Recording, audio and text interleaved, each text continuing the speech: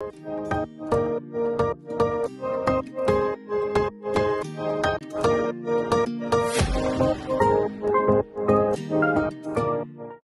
my beautiful friends. It's Amanda here, and today we are finally seeing a video that I have been researching and compiling information for for a very long time. We are talking about all the different lip color formulas from ColourPop. They have so many different types of lip products, and I know it can be really overwhelming and sometimes confusing. So, we're going to cover a bunch of different information about all of these formulas the finish, the opacity, the wear time, the scent, the packaging, the applicator, the price, whether or not things are vegan. I'm going to cover all of that information so that you can truly get a sense for what is the difference between all of these different lip colors because how different can two glosses or two lipsticks really be? So we're going to dissect all of those little differences that's what you're going to see in this video. It is very information heavy. I'm not swatching these things, I'm not reviewing them. I have tons of other videos on my channel with individual swatches, reviews, lip swatches, my favorites, things like that.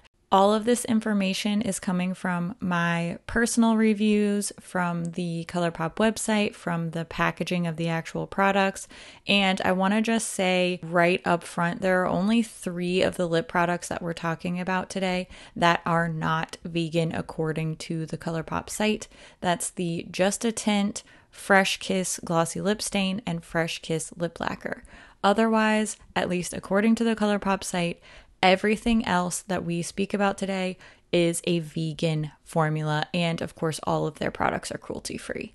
Now, a few things before we dive in. For now, this is a comprehensive list. They always release so many things. They discontinue things, they bring things back, they reformulate. So, probably sooner than later, this video will become at least not entirely accurate. Just keep that in mind. If you're watching this later down the line, some things may eventually change. They always change. ColourPop really keeps it pushing as far as their releases go. I also want to point out that I'm not talking about lip balms, lip treatments, lip masks. This is just the lip colors. I feel like the treatments are a little bit more self explanatory.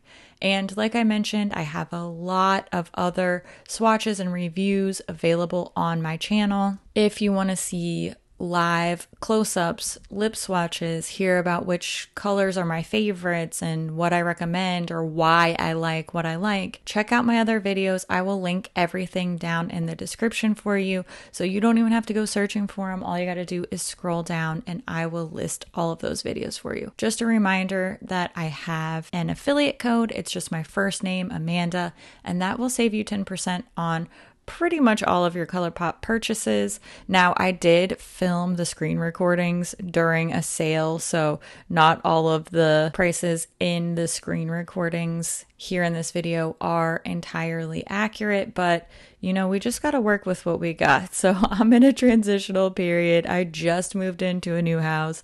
So, we're just working with what we got here but I am going to do the price per gram and all of that stuff based on the regular retail price and not the sale price. So let's dive in here. You'll notice that there are a few different, what I call families in the ColourPop lip color world. We have the lippies, so the lippie pencil and the lippie stix. There are the ultras, and I believe that these will be phased out sooner rather than later. The ultra matte, ultra blotted, and ultra glossy lips are probably on their way out, in my opinion. They don't have their own headings under the lips section anymore, and they just haven't been released in a while. They're not prominently featured. Now we have the So line, so, so juicy, so glassy. And we have three Fresh Kiss products. These are the newer kids on the block the Fresh Kiss Glossy Lip Stain, Fresh Kiss Lip Cream, and Fresh Kiss Lip Lacquer of course, the Luxe family the Luxe Lip Oil, Luxe Gloss, Luxe Velvet, and Luxe Lipstick, which I think is also probably on its way out, or at least due for a reformulation, hopefully, in my opinion, because I love it. And then we have the Lip family blotted lip, glowing lip, and just a tint lip tint. So it's kind of a reach on that one, but I did make it work, I think. As I go through and give you the details on these, I want to combine some lip products that are more similar because I think that'll help you understand the differences if we're comparing more similar types of lipsticks. But the lippie pencils are just in a world of their own. They only have one lip pencil formula.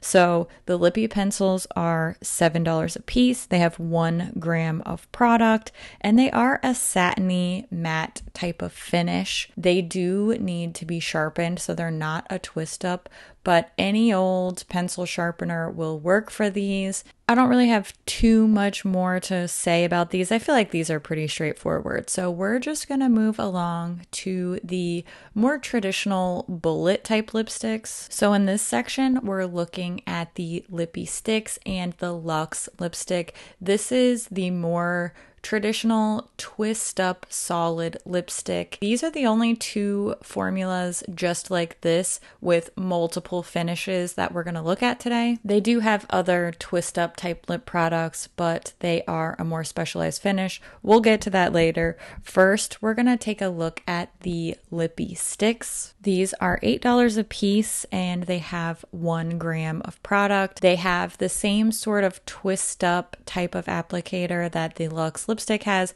but these are in a long, slim packaging, and the bullet that dispenses is smaller and more of a precision type applicator. These have a vanilla scent. They come in a few different finishes. Right now, it seems like they prominently have the matte, the matte X finish, which is just super matte, and the cream finish lippie stix. They have in the past had some satin finish ones. There's probably still a few floating around. I just couldn't exactly find them in my collection. And they used to have a sheer finish too, which I think they did discontinue. Next, we're going to talk about the Luxe lipsticks. These are the original Luxe lipsticks. This has the very traditional sort of what you think of when you think of a bullet lipstick type of packaging. And they've mostly been releasing new Luxe lipstick shades in collaboration collections, but not so much just as a part of their permanent line. These are priced at $9 a piece, and you do get 3.5 grams of product, so shorter and wider than the Lippie Stix packaging. These also have a vanilla scent. They also have the twist up type of dispensing, and these come right now now in two different finishes. I can only find cream finish and the blur finish. I do think they used to have some more, at least they had a matte finish. So this just sort of seems like maybe the Luxe lipsticks are either going to get a revamp like the Lippie Stix did, fingers crossed that that's what's happening, or they're getting discontinued. But I think these are the two that really bear comparing as far as a bullet type lipstick goes. And the main differences here are the packaging, and you can get some different finishes from these, but as far as the scent, as far as the performance goes, I think that the product itself is probably pretty similar. The main difference is just the finishes and the packaging and also the price, but we'll get to the per gram price later.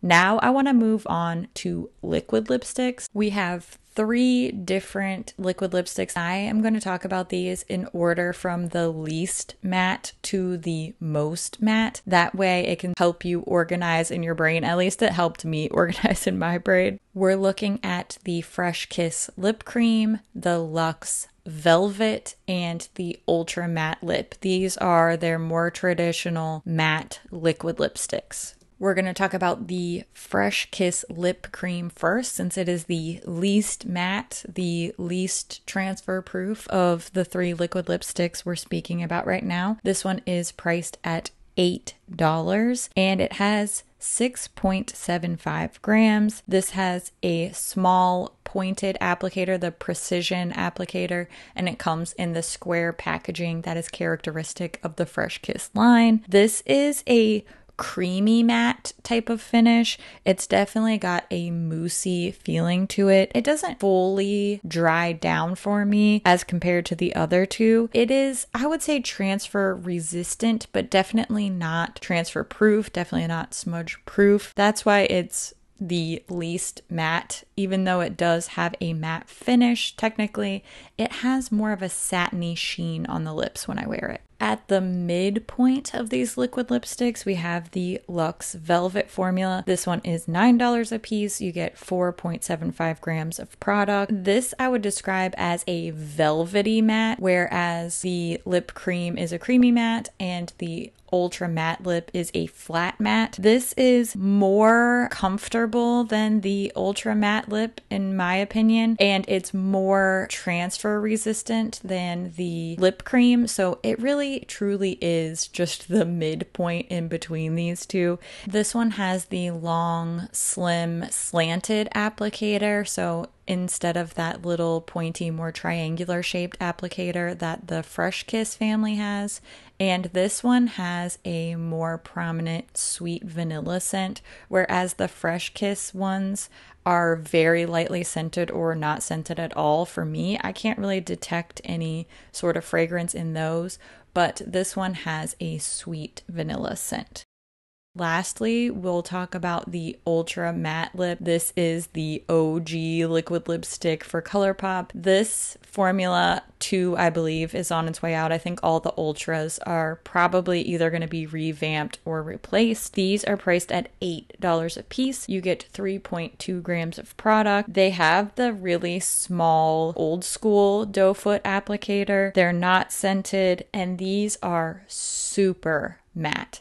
These are that flat matte, the kind that sort of suck your lips dry. These are the least comfortable of the three, in my personal opinion, but this is the most transfer proof. If you are looking for something that's not gonna budge, then this is the formula that you're looking for. So, with the liquid lipsticks, we are seeing more of a variety in the formula versus the bullet lipsticks, but you know, there's also the scent, the doe foot, the price to keep in mind. Overall, I would say there's more variety here, and you can sort of place yourself on the scale what you're looking for with comfort versus smudge resistance. That's really the difference between these liquid lipstick formulas. So, hopefully, that made sense. Feel free to ask questions in the comments because, like I said, this is a very information heavy video. Next, we're talking about a category I call glossy but not gloss. So, both of these lip products are in the twist up format. They don't have the swipe on liquid gloss type of application, but they both have a very glossy finish. So that's why I'm comparing them. We're going to start with the Just a Tint lip tints. These are $8 a piece. You get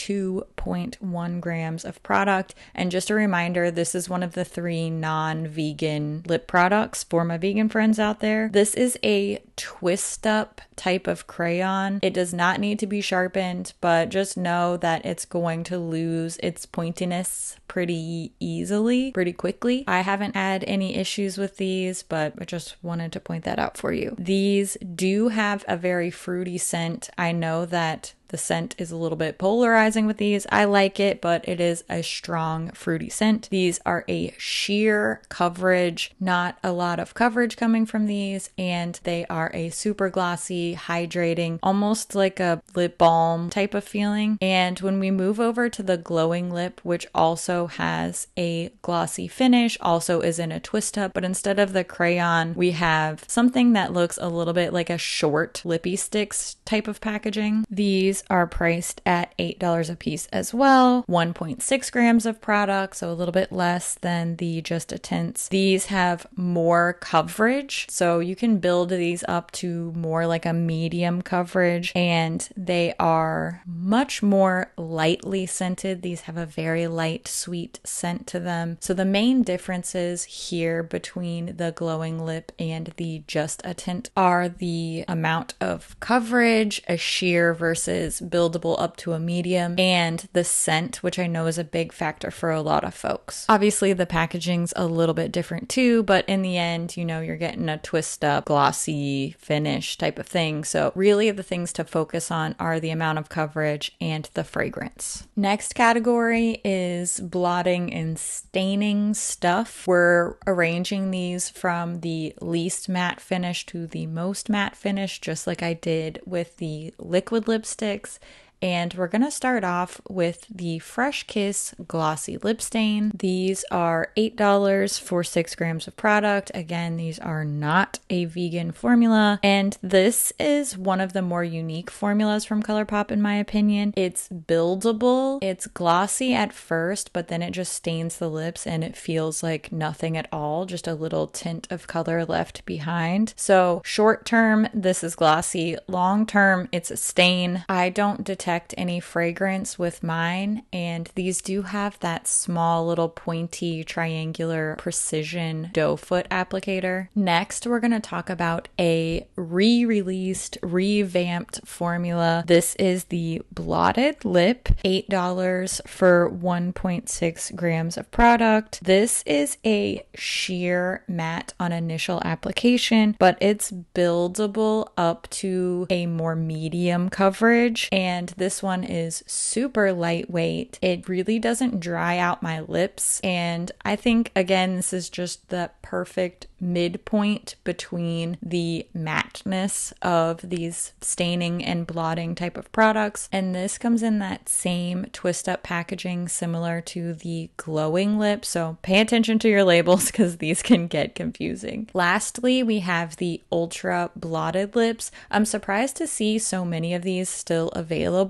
as far as the ultras go, since the ultra satin lips are completely gone from their website now. I'm surprised that there are this many ultra blotteds left. These are $8 a piece, 3 grams of product, same type of packaging that we saw in the Ultra Matte, that really old school liquid lip cylindrical packaging with the little small doe foot. These have a matte finish, they have a medium coverage. In my experience, these tend to be quite a bit more streaky than the regular blotted lip formula. So for these blotting and staining type of diffused lip look products, it really is a variety as far as finish, application. It seems like the wear time for all of these is probably pretty similar. It just depends on what type of overall look you want and how you prefer to apply these. Next, we're getting into the most complex section of my video, and that is the glossy glosses. There are six different formulas that are in a glossy finish liquid application type of product. And there's a lot to dissect with these because truly, how different can lip glosses be? Well, I researched for many days to find out, and I'm gonna tell you the differences between these because they do exist. It's just how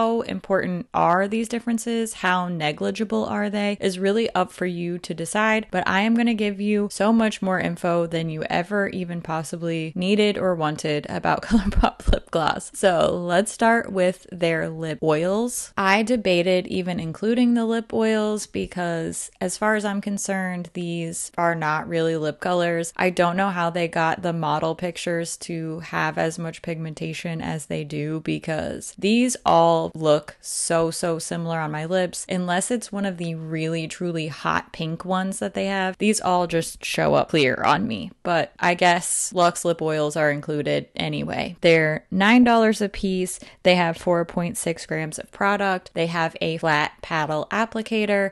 And the main thing about these for me, it's not the sheerness, it's the scent. These have a really strong scent. They smell like licorice to me. According to the ColourPop site, they are chamomile and calendula oil, but I I don't like it and I'm not very sensitive to scents. So that's the main tipping point for me as far as the Lux lip oil goes. Otherwise, they're not very notable for me personally, but that's just something that you have to make the call on yourself. Next, we're going to talk about the ultra glossy lips. These are a very standard lip gloss, in my opinion. They are $8 $8 a piece. You get three grams of product. They have a sweet vanilla scent. They come in that slim component that the other ultras are in. These have a brush tip applicator, which I truly do not like at all. I wish they just had the regular little baby doe foot, but I guess I don't get to decide that. So that's really the big thing about these. The big difference is that brush tip applicator. These are non sticky, just straight up regular non sticky glosses. Next, we have the Luxe Gloss. These are priced at $9 a piece. You get 4.6 grams of product. These have a really sweet fruity scent. So they are not vanilla like the ultra glossy. And these have that big oversized cupped doe foot applicator. Kind of reminds me of a concealer applicator. These are similar in performance to the ultra glossies, but it has a more gel type of feeling. But when it comes to coverage or opacity, you're definitely going to get more color out of the ultra glossy and the luxe gloss than the lip oil, but they are that very classic sheer glossy gloss. They do have a variety of finishes, so some are more creamy, some have a little sparkle, and there's a wide variety of those finishes, so they do have a variety of opacities as well. Also, want to point out that much like I did the least matte to the most matte with the other lipsticks for the glosses, I'm doing least sticky to most sticky, so the thinnest to the thickest. So, right at that thickness, stickiness midpoint would be the Luxe Gloss and the So Glassy for me. And then we're gonna move up stickiness, thickness factor to the So Juicy Gloss. And then finally the Fresh Kiss lip lacquer, which is personally not my favorite, but I said I wasn't going to share reviews. So let's talk about the So Glassy glosses. These are the newest glosses on the block. I feel like they haven't quite found their identity yet. They have the same square type of packaging that the Fresh Kiss products have, same little small pointed applicator. These are $8 a piece. You get 5.7 grams of product. They have a very light, sweet scent I would say these are probably the least scented of all of the gloss options. So if you are sensitive to fragrance, that's something to keep in mind. These come in a variety of finishes. Some are super, super sparkly, glittery, metallic look, and then some are straight up creamy glosses. They kind of remind me of the Maybelline lifter glosses, just smaller packaging. Now we're going to start seeing some really different formulas, formulas that are set apart from these other more classic glosses. The So Juicy gloss is the perfect example of that. You can just tell visually the packaging is so different with this squeezy tube type of packaging. It doesn't really have an applicator, so when you open the lid, it just has the squeeze out onto the little slanted plastic applicator. These are $8 a piece, 9.5 grams of product. Really good value for your dollar, by the way. They are super minty. They have that tingly, plumping type of situation. This is a really thick, super high shine type of finish. And they do tend to be pretty sticky, in my opinion, but not as sticky as the Fresh Kiss lip lacquers. This is our final lip formula we're going to go over. The Fresh Kiss lip lacquers are $8 a piece, 6 grams of product, same Fresh Kiss packaging that we've been over a bunch of times by now. These are super pigmented. They are very, very glossy, shiny, that vinyl lip look. They are not vegan. These do not dry down at all. These are in no way smudge proof or transfer proof. However, if you're looking for a very, very pigmented, full coverage, glossy type of product, then this is exactly what you're looking for. Okay, so that was the whole rundown as far as the details on each one of these different lip products, what makes them similar, what makes them different. Hopefully, this wasn't so info dense that it stopped making sense. I really, really tried to structure this in a way that would make it actually useful for you. So hopefully that's the case and you have a better understanding of the similarities and differences between all these different lip colors. I do want to give you a couple of comprehensive breakdowns. First, the price per gram. This is based on the individual retail price and the info that is is available to me currently on the ColourPop site. I didn't go through and scrape out the product and weigh them individually myself. So this is the best that I have to go on, but this is going to give you that value for your dollar ranking. Personally, I do use up lip products entirely. I know sometimes for powder products, the price per gram doesn't seem as relevant, but I use up my lip products and have to replace them pretty frequently. So if you're torn between two different formulas, perhaps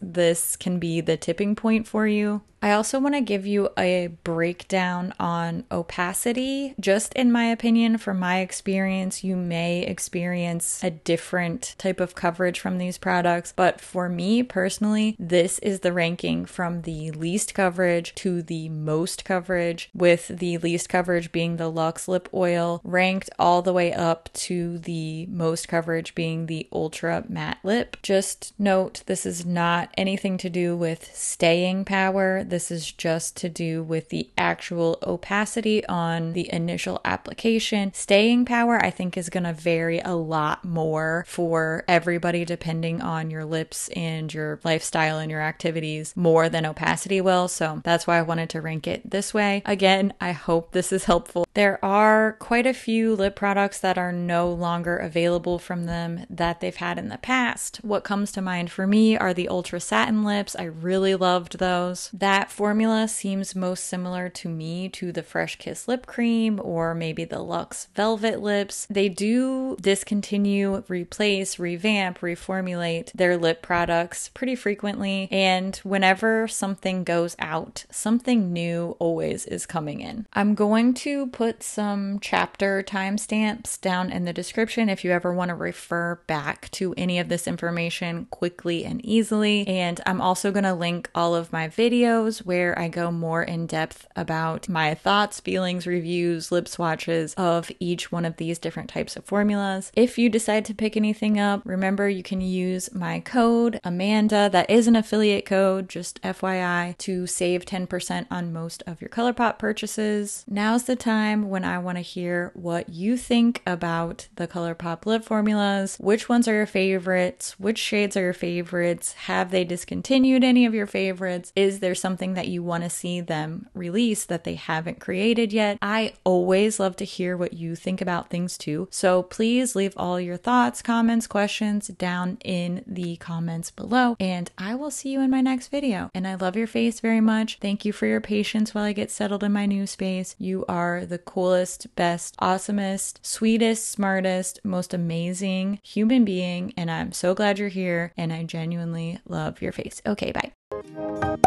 Thank